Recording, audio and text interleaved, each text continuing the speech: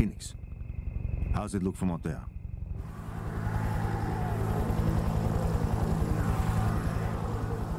Zeke 300 deep at Greengold's house.